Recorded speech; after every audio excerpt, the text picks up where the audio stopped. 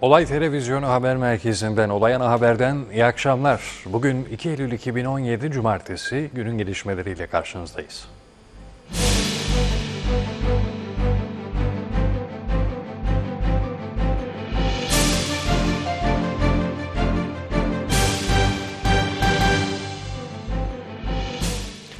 Başkentte bayramın ikinci gününde siyasi partilerin geleneksel bayramlaşma ziyaretleri vardı. Ziyaretlerde gündem olağanüstü hal uygulaması ve kanun hükmünde kararnameler oldu. Bayramın ikinci günü Ankara'da partilerin bayramlaşma ziyaretleri vardı.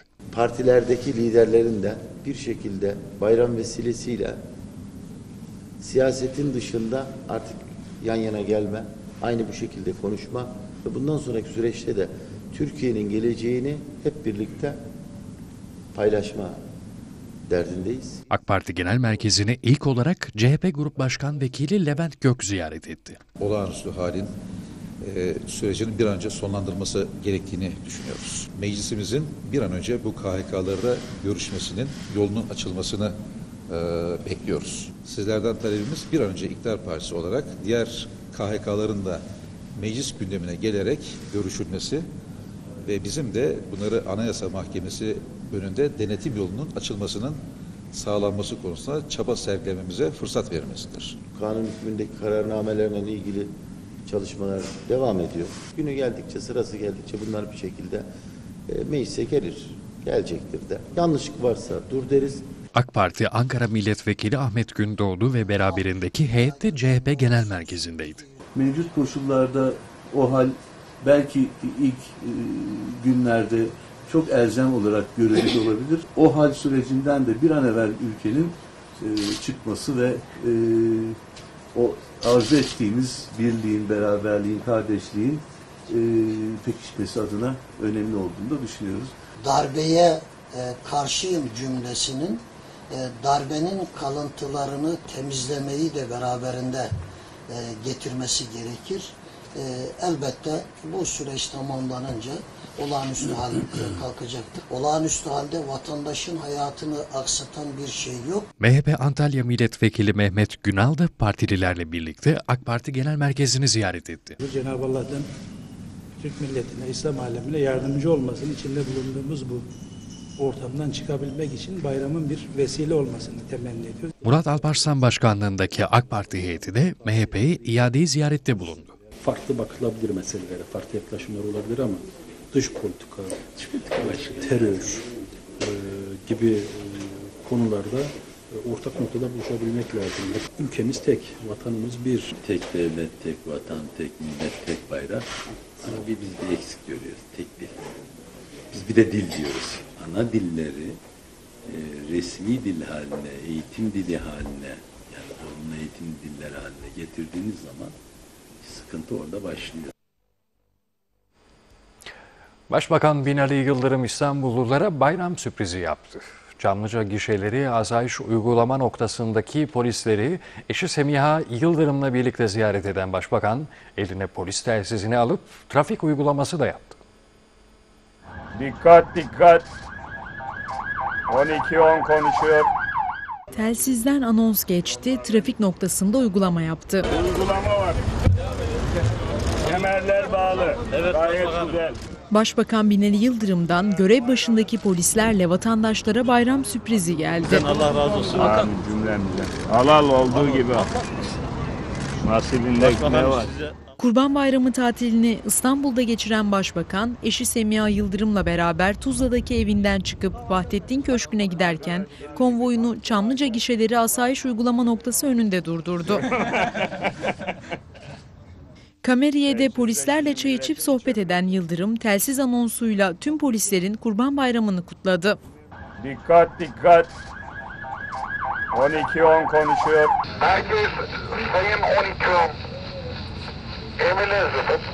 Arkadaşlar Kurban Bayramınızı tebrik ediyorum. Tevfik mesajıyla bütün teşkilata selamlarımı Görevinizde üstün başarılar diliyorum. Başbakan elinde polis telsiziyle denetim noktasına da geçti. Bu iş başbakanlıktan daha kolay ya. Selamınız mübarek olsun. Kemeriniz takılı değil galiba. Şimdi çıkardık. Ha. Trafik ekiplerinin denetleme için durdurduğu sürücülerle sohbet eden Yıldırım, araçlardaki çocuklara oyuncak ve harçlık verdi. Tamam. Öp sen de. Öp başbakanımızı. Hadi. Çok teşekkürler başbakanım. MHP Genel Başkanı Devlet Bahçeli, partisinin genel merkezinde düzenlenen bayramlaşma töreninde konuştu. Bahçeli'nin gündeminde CHP'nin Adalet Kurultayı'ndaki alkol tartışmalarına ilişkin yaptığı kör Niko açıklaması vardı. Türkiye'de içki yasağı olmadığını belirten ve sözlerinin yanlış anlaşılmamasını isteyen Bahçeli, kör Niko Türkiye gündeminden öne geçti. Ben de ona yanıyorum dedi.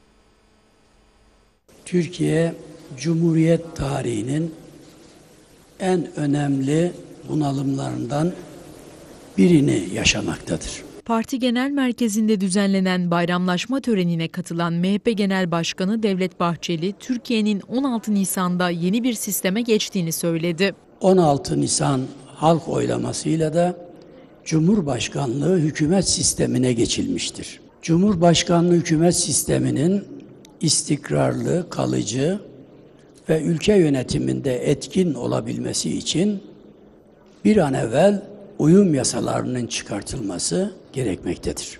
Bu yapılmadığı takdirde Türkiye'nin birliğinden, dirliğinden ve kardeşliğinden uzaklaştırıcı faaliyetleri artacağı unutulmamalıdır. Kutuplaşmaya son verilmesini isteyen Bahçeli'nin gündeminde eski MHP'li Meral Akşener'in yeni parti kurma hazırlığı da vardı. Bizlerden ayrılmış olanlar veya ayıklanmış olanların siyasi tercihleriyle nasıl bir yol izleyecekleri onların bileceği iştir. O süreci takip ediyoruz. Bahçeli'ye CHP'nin Adalet Kurultayı'ndaki alkol tartışmalarına ilişkin Körniko değerlendirmesi soruldu. Herkes her yerde içki alabilir. Ama bu şehitlerimizin mekanında değil, meyhanelerde olması lazım. İstanbul'da da çok sayıda tarihi meyhaneler vardır. Bunlardan bir tanesi de Kör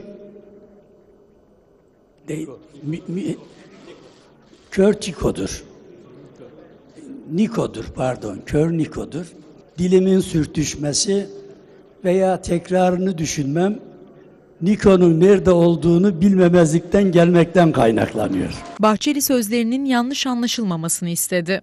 Belli çevreler saat 6'dan sonra rakı burcuna girdiklerinde nerede kimin olduğunu hepimizden iyi bilirler. Meyhaneye akşam mekan tutanlar orada sazlı sözlü eğlenceye de girebilirler. Meyhane şarkılarının da CD'sini yapıp kasetini hazırlamış olabilirler. Onunla bizim söylediklerimizi karıştırmamak lazım.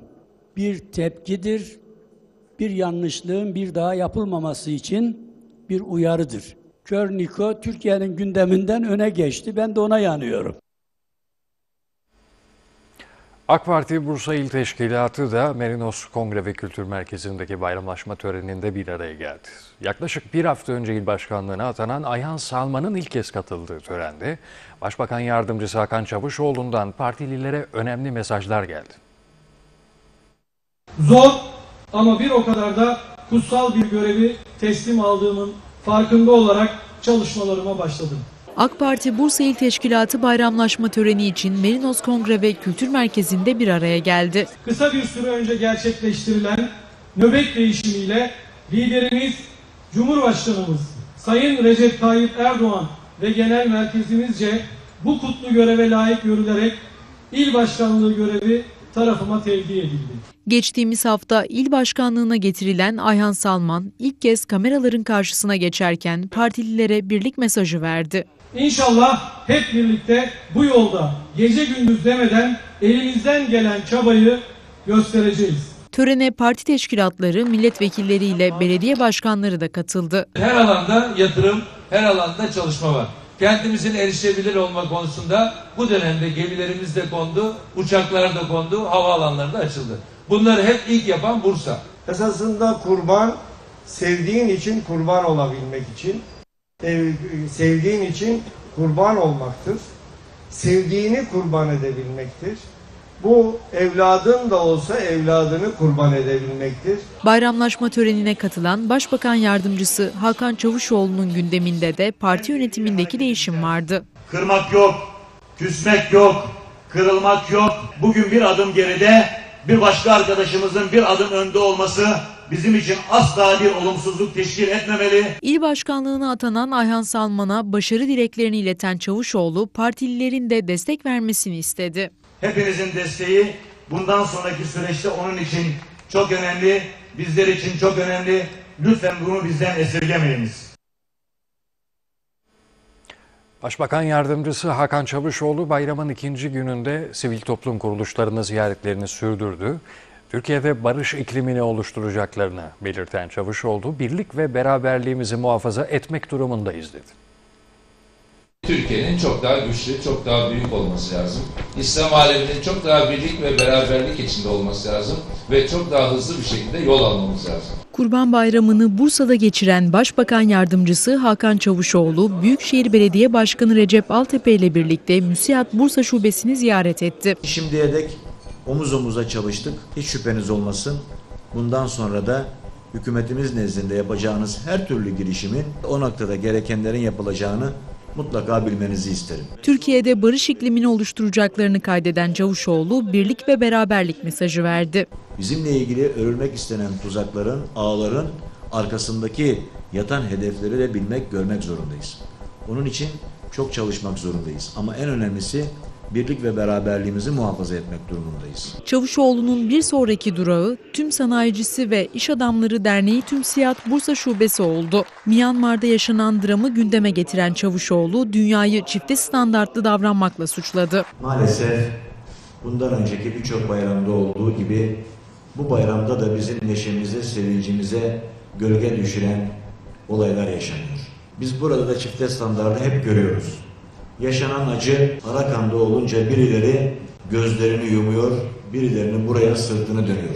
Başbakan Yardımcısı Çavuşoğlu, BESOP Küçük Sanayi Eğitim Merkezi'nde de esnafla buluştu. Bursa'da taş üstüne taş koymak, Bursa'nın ekonomideki bir lokomotif olma mahiyetini Türkiye satında gerçekten de damgasını vurmak hepimizin asli vazifesi, olmalı. Çavuşoğlu bayram ziyaretlerine Muşter, Memursen, Bihmet ve Erzurum Dernekleri Federasyonu'yla devam etti.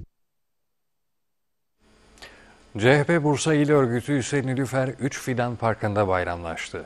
Çok sayıda partilinin katıldığı bayramlaşma törenine adalet mesajları damga vurdu. bu coğrafyada mutlu, huzurlu, birlik içinde, beraberlik içinde bayramı bayram tadında yaşayacağımız günleri arzu ediyoruz. Niçin 365 gün çocuklarımız, gençlerimiz, büyüklerimiz mutlu olmasınlar? Cumhuriyet Halk Partisi Bursa İl Örgütü'nün bayramlaşma törenine Nilüfer 3 Fidan Parkı ev sahipliği yaptı. Başlatmış olduğumuz adalet yürüyüşü ardından adalet kurultayı ülkemizde bir takım yaşanan haksızlıkların, hukuksuzlukların, özgürlüğe karşı yapılan darbelerin bu halk açısından en güzel dışa vurumu oldu. Bayramlaşma törenine katılan CHP Bursa Milletvekili Lale Karabıyık, Genel Başkan Kemal Kılıçdaroğlu ile birlikte Enis Berberoğlu'na yaptıkları ziyareti anlattı. Dün Sayın Genel Başkanımızla birlikte Maltepe cezaevinde bulunan arkadaşımız Sayın Enis Berberoğlu'nu aynı zamanda eşiyle birlikte ziyaret ettik. Kendilerinin herkese sevgileri, selamları var. CHP Bursa İl Başkanı Şadi Özdemir'in gündeminde ise delege seçimleri vardı. 10 Eylül itibariyle mahallelerde demokrasi şölenimiz başlıyor. Muhtarlık bölgesi delegelerin seçimlerini demokrasi şölenine çevirmeliyiz. Mahallelerde sandık kurulması esastır. Şeffaf, demokratik ve katılımcı süreç yaşatacağız. Rumeli Dernekleri Federasyonu'nun bayramlaşma töreni Bursa'da siyasileri bir araya getirdi. Törene katılan Başbakan Yardımcısı Hakan Çavuşoğlu, Bursa için büyük bir aşkla çalıştıklarını söyledi. Bugün Türkiye gerçekten çok zor bir aşamadan geçmektedir. Biz Rumeli insanları olarak böyle devletin zor bir durumunda particiliği hiç asla bırak bakmayız. Birleşmemiz lazım. Rumeli Dernekleri Federasyonu'nun Kültür Park Gölbahçe'deki bayramlaşma töreni siyasileri bir araya getirdi. İnsanları bir araya getirdiğimizde, birlik beraberliği aşıladığımızda çözülemeyecek hiçbir sorun yok. Şu anda da muhalefetiyle, iktidarıyla hep birlikte çalışmaya devam edeceğiz. Bizler tarih boyunca hiçbir ülkeyi karıştırmadık. Gidip onların iç işlerine karışmadık. Hiçbir yerde gidip katliam yapmadık. Savaştıysak adam gibi savaştık. Ve sonunda güzel bir tarih, güzel bir iz bıraktık. Bayramlaşma törenine Başbakan Yardımcısı Hakan Çavuşoğlu da katıldı. Bu görev bana tevdi edilirken nazara alınanın ismen Hakan Çavuşoğlu olsa bile gerçek manada bir Bursa'nın teveccüh olduğunu özellikle ifade etmek istiyorum. Çavuşoğlu görevi millet sevgisiyle yerine getirmeye çalıştıklarını söyledi. Biz bu yolculuğumuzda millete olan hizmet sevdamızda, millete olan aşkımızda ki bu aşkımızın özünü bizim için Bursa oluşturmaktadır. Bursa için her şeyi yapmak, Bursa için her güzelliği sunmak en büyük vazifemiz olacaktır bundan sonra da. Sayın seyirciler Kurban Bayramı tatilinde bir hafta geride kalırken yollar maalesef yine kan gölüne döndü. Son bir haftada meydana gelen 130 kazada 75 kişi hayatını kaybetti. Yaklaşık 400 kişi de yaralandı. Kurban Bayramı tatilinde bir hafta geride kalırken meydana gelen yüzden fazla kazada 75 kişi hayatını kaybetti. 22 yaşındaki Sinan Türker'in kullandığı otomobil Tekirdağ Malkara Keşan yolunda Yunanistan'dan aldığı 19 yolcuyu İstanbul'a götüren Metin Tokgöz yönetimindeki yolcu otobüsüne arkadan çarptı. Çarpmanın şiddetiyle hurda yığınına dönen otomobilde bulunan Baki Çevik, Süleyman Türker ve Mustafa Özel olay yerinde hayatını kaybetti. Araçta sıkışan sürücü Sinan Türker'le İslam Çevik ise ekiplerin müdahalesi sonucu kurtarılarak ambulansla hastaneye götürüldü. Kastamonu'da bayram ziyaretinden dönen ailenin içinde bulunduğu otomobil, Devrekani Karayolu'nun Sarı Yonca Köyü mevkiinde başka bir otomobille çarpıştı. Feci kazada otomobillerden biri ikiye bölünmesine karşın sürücü Faik Yılmaz'la yanında bulunan Necda Yılmaz ve Kadir Yılmaz şans eseri yaralı kurtulmayı başardı. Yaralı 3 kişi hastaneye götürülerek tedavi altına alındı.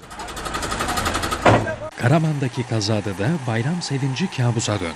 Denizli'deki yakınlarıyla bayramlaştıktan sonra Karaman'a dönmek için yola çıkan ailenin içinde bulunduğu araç Karaman-Konya yolunda sürücüsünün direksiyon başında uyuması sonucu şarampole yuvarlandı.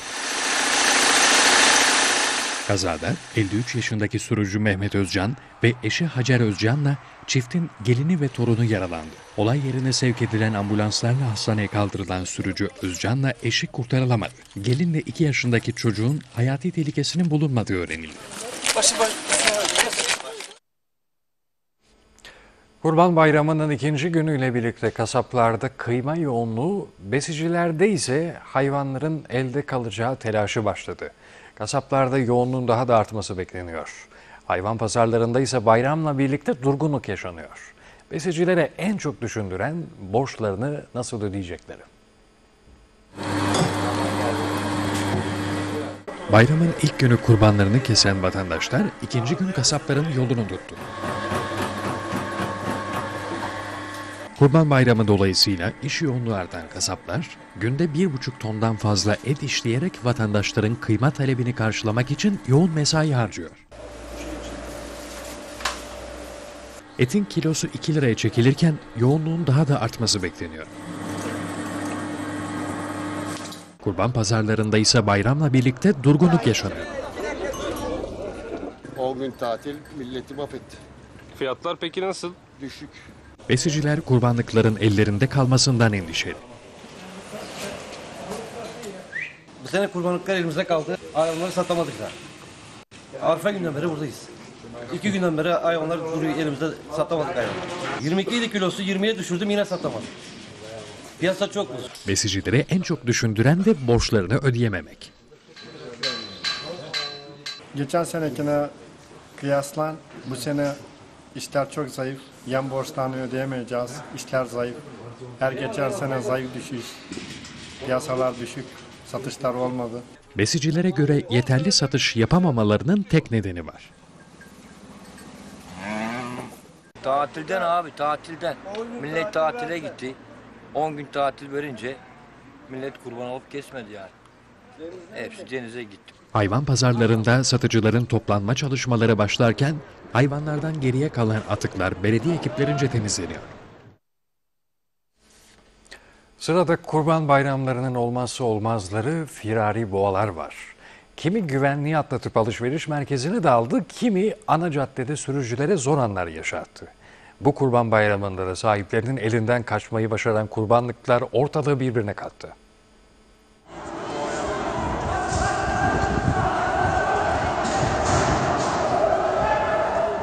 Firari boğa alışveriş merkezine daldı. Vatandaşlar neye uğradıklarını şaşırdı. Görüntüler Ankara'dan. Sahibinin elinden kaçan kurbanlık güvenlik önlemlerini atlatarak soluğu alışveriş merkezinde aldı. Vatandaşlar karşılarında gözü dönmüş boğayı görünce şoka girerken güvenlik görevlileri çareyi kaçmakta buldu.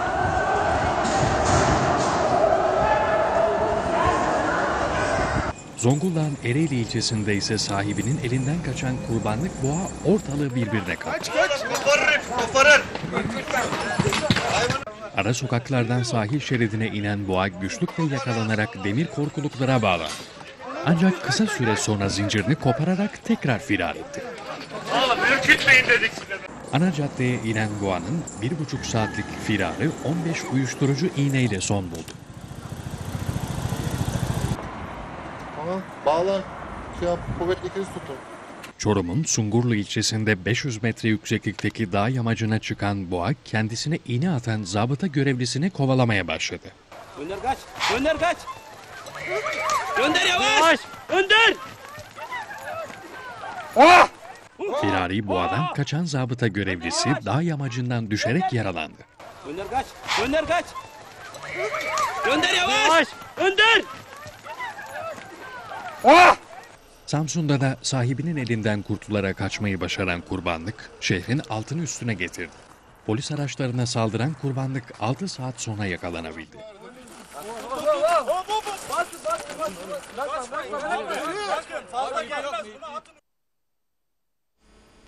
Kurban Bayramı'nın ikinci gününde iki kentten yürekleri ağza getiren haberler geldi. Mersin'de 2 yaşında, Niğde'de ise 4 yaşında bir çocuk ellerini kıyma makinesine kaptırdı. Mersin'de kıyma makinesine elini kaptıran 2 yaşındaki çocuk ölümden döndü. Sen bunu al bana o ver. Abi ben bununla daha rahat. Tamam abi. Olay Toroslar ilçesinde yaşandı. 2 yaşındaki Mustafa Yapan evdeki kıyma makinesiyle oynamaya başladı. Bir anda eli makineye sıkışan çocuğun çığlıkları üzerine odaya gelen ailesi 112 acil sağlık ve itfaiye ekiplerine haber verdi. Sen sakın Çok fazla kan kaybeden çocuk elindeki kıyma makinesiyle birlikte Mersin Şehir Hastanesi'ne kaldırıldı. İtfaiye ekiplerinin hastanede kıyma makinesini kırarak çıkarttığı küçük çocuk Mersin Üniversitesi Tıp Fakültesi Hastanesi'ne sevk edildi. Parçalanan eli için ameliyata alınan çocuğun durumu ciddiyetini koruyor. Niğde'de de 4 yaşındaki Abdullah Eflas, ailesinin kurban etlerini kıydığı makineye elini kaptırdı. Durumu fark eden anne makineyi kapatırken, eve çağrılan sağlık ekibi küçük çocuğu elindeki kıyma makinesiyle Niğde Ömer Halis Demir Eğitim ve Araştırma Hastanesi'ne götürdü. Küçük Abdullah'ın elini çağrılan itfaiye ekibi makinenin içinden çıkardı. Parmaklarında derin kesikler bulunan küçük çocuğun tedavisi sürüyor. Şimdi terörle mücadelenin notlarına bakacağız. Terör operasyonları yurt içi ve yurt dışında devam ediyor. Tunceli'de de hava destekli düzenlenen operasyonda 8 terörist etkisiz hale getirildi. Tunceli'nin Pülümür yolu uzun tarla mevkiinde bir grup teröristin fark edilmesi üzerine bölgede operasyon düzenlendi. Hava destekli gerçekleşen operasyonda bölge ateş altına alınırken 5 terörist etkisiz hale getirildi. Operasyon sırasında Tunceli Erzincan Karayolu trafiğe kapatıldı. Sabah saatlerinde de insansız hava aracıyla düzenlenen operasyonda 3 teröristin daha öldürüldüğü açıklandı. Güvenlik güçlerinin bölgedeki arama çalışmalarının sürdüğü öğrenildi.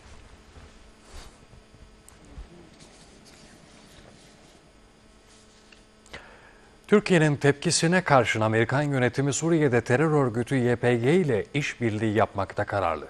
Amerikan Savunma Bakanlığı Pentagon, Rakka'nın ardından yeni operasyonu da YPG ile birlikte yapacaklarını açıkladı. Uluslararası Koalisyonun Amerikalı komutanı Korgeneral Stephen Townsend, Dere Zor'u IŞİD'den kurtarma operasyonunda ağırlığını YPG'nin oluşturduğu Suriye Demokratik Güçlerine destek vereceklerini açıkladı. Suriye Demokratik Güçlerin Menbiç, Tapka ve Rakka'da büyük tecrübe kazandığını ve bölge halkı tarafından kabul edilebilecek bir güç olduğunu öne süren Amerikalı general, örgütün elindeki hafif silahlara rağmen kendi sınıfındaki bir gücün üzerinde bir mücadele verdiğini söyledi.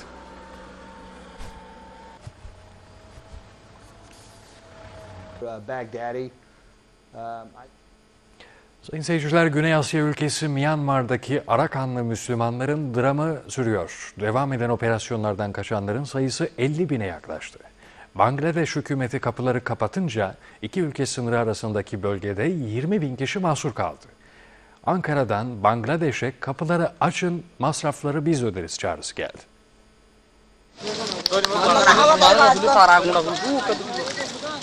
Güney Asya ülkesi Myanmar'da ordunun Arakanlı Müslüman sivillere yönelik operasyonları sürerken yaşanan dramın boyutları trajediye dönüştü.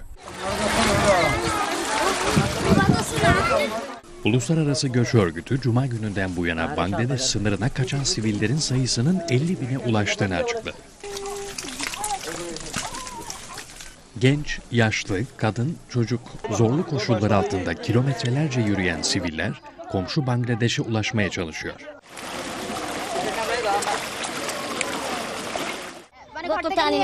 Üzerimize ateş açıyorlar, evlerimizi yakıyorlar, bizi öldürüyorlar. Bangladeş hükümetinin kapıları kapatmasının ardından iki ülke sınırı arasındaki bölgede mahsur kalan yaklaşık 20 bin Arakanlı Müslümansa çaresiz bir şekilde bekleyişlerini sürdürüyor. Bölgedeki gelişmeleri yakından takip eden Türkiye ise Bangladeş'ten Myanmarlı Müslümanları kabul etmelerini istedi. Bangladeş'e kapılarınızı açın. Ne kadar masrafınız varsa biz karşılayacağız diyoruz. Ve oralara daha önce giden Arak, e, Arakanlı Müslüman kardeşlerimize her türlü desteği veriyoruz. Arakanlı Müslümanlar kendilerini ülkeden atmak için sistemli bir şekilde operasyonların sürdüğünü söylerken, Myanmar yönetimi ise ordunun sadece teröristlere karşı operasyon düzenlediğini ve sivil halkın korunması talimatı verdiğini iddia ediyor.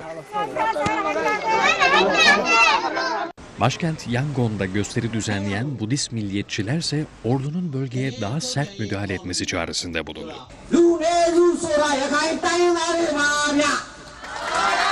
Birleşmiş Milletler Genel Sekreteri Antonio Guterres de Myanmar hükümetini uyardı, güvenlik güçlerinin uyguladığı aşırılıktan derin endişe duyduğunu belirterek itidal çağrısında bulundu. IŞİD'le bağlantılı radikal militanların geçen hafta polis karakolları ve askeri üslere düzenlediği saldırıların ardından askeri operasyon başlatılmış, o günden bu yana çatışmalar yoğunlaşmıştı.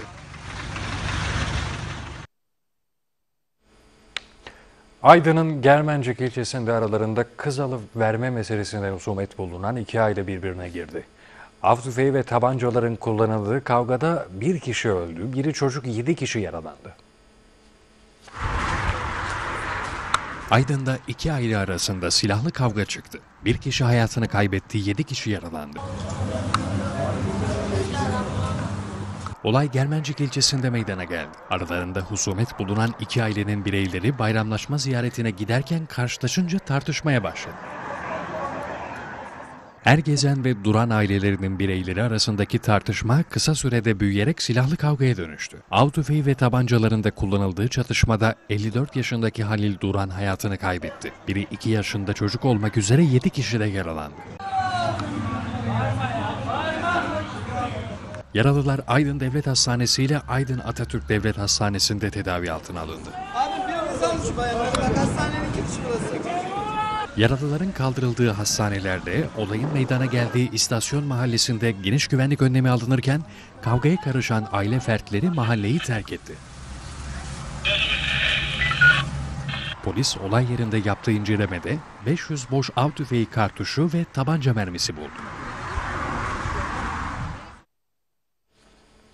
Kars'ta askeri bölgede çıkan orman yangınında faciadan dönüldü. 4 saatlik çalışmayla kontrol altına alınan yangında 17 asker dumandan etkilenerek hastaneye kaldırıldı. Kars'ta askeri kışlanın ormanlık alanında çıkan yangında 17 asker dumandan etkilenerek hastaneye kaldırıldı. 14. Mekanize Piyade Tugay Komutanlığı'na bağlı Çakmak Batı Kışlası'na ait arazide başlayan yangın rüzgarın da etkisiyle hızla yayıldı. Yangın askerlerin müdahalesine rağmen söndürülemeyince bölgeye Kars Belediyesi'ne bağlı itfaiye ve AFAD ekipleri sevk edildi. İki tomada söndürme çalışmalarına katılmak için bölgeye geldi. Alevler, ekipler ve askerlerin 4 saatlik çalışması sonucu kontrol altına alınarak söndürüldü. Yangın söndürme çalışmaları sırasında dumandan etkilenen 17 asker ise Harakani Devlet Hastanesi'nde müşahede altına alındı. Kars Valisi Rahmi Doğan'la 14. Mekanize Tugay Komutanı Tuğgeneral Turan İnan Kışla'ya giderek yangınla ilgili yetkililerden bilgi aldı. Tabii rüzgarın etkisiyle otlar da kuru olunca çok hızlı yayıldı. Bir sorun yok ama şu anda tamamen söndürüldü. Bursa polisi uyuşturucu tacirlerine bir darbe daha vurdu. Düzenlenen operasyonlarda yüklü miktarda sentetik uyuşturucu ele geçirilirken 4 kişi gözaltına alındı. Bursa'da uyuşturucu tacirleri nefes kesen bir operasyonla yakalandı. Bir ihbarı değerlendiren Narkotik Suçlarla Mücadele Şube Müdürlüğü ekipleri takip altına alınan iki şüpheliyi Araba Yatağı Mahallesi'nde kıskıvrak yakaladı. Şüphelilerin üzerlerinde yapılan aramalarda bir miktar metamfetamin ele geçirilirken verdikleri ifade doğrultusunda uyuşturucu maddeyi sattığı tespit edilen bir kadın şüpheli de gözaltına alındı. Şüphelinin üzerinde metamfetaminle yüklü miktarda nakit para ele geçirildi. Soruşturmayı genişleten polis şüphelilere torbacılık yaptırdığı öne sürülen bir kişinin Doğan Bey TOGİ konutlarındaki evine baskın düzenledi. Operasyonda yüklü miktarda sentetik uyuşturucu, 25 bin lira nakit parayla ruhsatsız tabanca ve tabancaya ait mermiler bulundu. Dört şüpheliden ikisi uyuşturucu madde kullanmak veya bulundurmak, diğer ikisi ise uyuşturucu ticareti yapmak suçundan adliyeye sevk edildi. Bursa'da kaybolan Alzheimer hastası adamı bulmak için hem ailesi hem de ekipler seferber oldu. Üçüncü kez kaybolan yaşlı adam güvenlik kamerası görüntüleri sayesinde bulunabildi. Bursa'da arama kurtarma ekipleri kaybolan 78 yaşındaki adamı bulmak için seferber oldu. Akşam saatlerinde Üç Evler Mahallesi'ndeki evinden ayrılan Alzheimer hastası 78 yaşındaki Mümin Yağcı, aradan saatler geçmesine karşın geri dönmedi. Aile durumu polise bildirerek yardım istedi. Yaşlı adamı bulmak için AFAD, AKUT, İtfaiye ve Nilüfer arama kurtarma ekipleri çalışma başlattı. Ekipler yaşlı adamın bir binanın güvenlik kamerasına yansıyan görüntülerinden yola çıkarak çevredeki ormanlık alanı, parkları ve sokakları aradı. Bursa Büyükşehir Belediyesi İtfaiye Eski Daire Başkanı olduğu belirtilen Mümin Yağcı, gece 03 sıralarında Acemler Bursaspor Bursaray İstasyonu yakınlarında bulundu. Ailesine teslim edilen yaşlı adamın daha önce de iki kez kaybolduğu, son kaybolduğunda ise bir hastanede bulunduğu öğrenildi.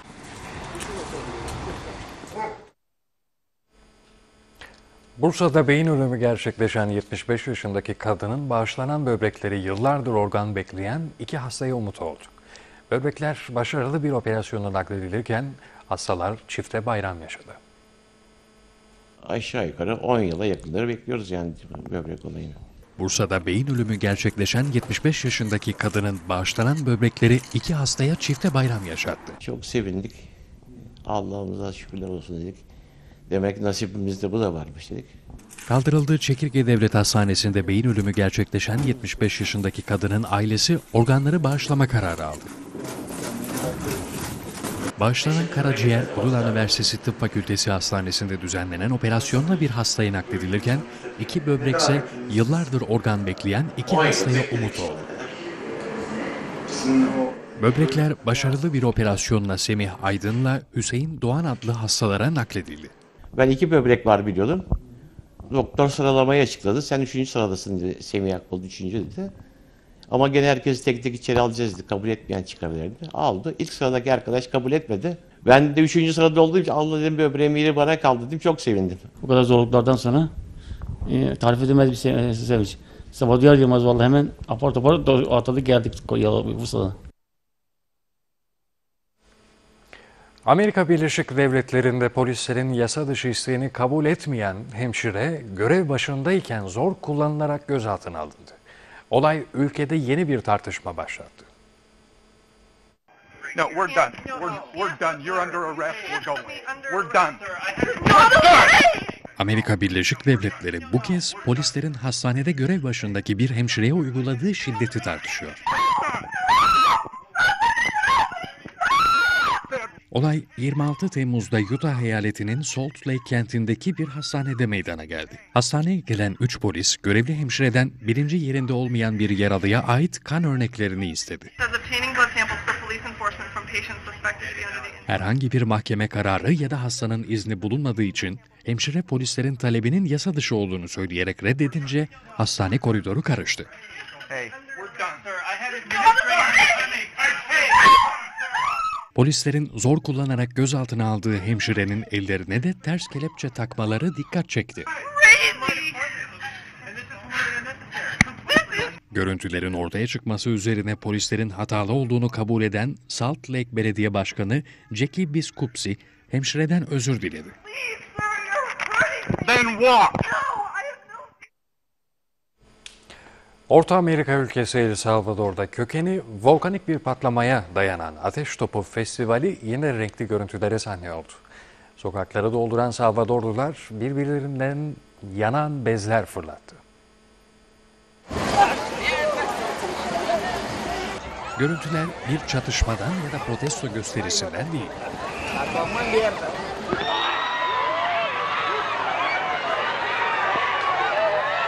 Orta Amerika ülkesi El Salvador'un Mejapa kentinde her yıl düzenlenen Ateş Topu Festivali izleyenleri hayrete düşürüyor.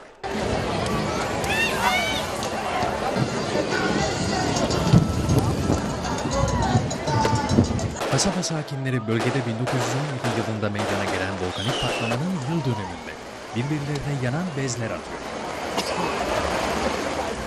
El Salvadorlular eğlencenin tadını çıkarırken itfaiye ekipleri de olası yangınlara karşı tetikte bekliyor.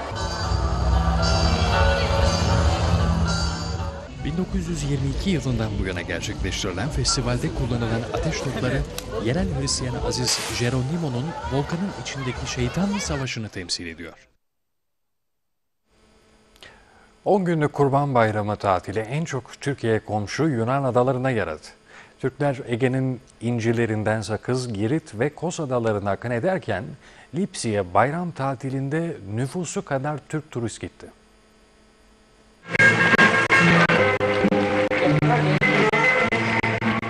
Uzun bayram tatilinde çok sayıda Türk vatandaşı Yunan adalarını tercih etti. Bu yıl Yunanistan'a giden Türk turistlerin sayısı 1 milyon aşarken 10 günlük bayram tatilinde Yunan adaları doldu taştı. Nüfusu sadece 600 olan Güneydoğu Ege'deki Lipsi adasına yüzlerce Türk gidince ortaya ilginç bir durum çıktı. Lipsi limanında demir atmak için adeta kuyruğa giren Türk bayraklı tekneler ada sahillerini doldurdu. Lipsi Belediye Başkanı Fotis Manbos, Türklerin adayı tercih etmesinden de memnun. Türk turistleri her yıl dört gözle bekliyoruz. Dostlarımız, kardeşlerimizi burada ağırlamaktan büyük memnuniyet duyuyoruz. Türk ziyaretçilerimiz ada ekonomisi için büyük önem taşıyor. Lipsi Bodrum'dan iki buçuk saat uzaklıkta gizli cenneti olarak bilinen sakin küçük bir ada. Lipsi yüz ölçümü itibariyle Yunanistan'da en fazla kiliseye sahip olan ada olarak da biliniyor. Adada 600 kişi yaşıyor olmasına rağmen 52 tane kilise bulunuyor.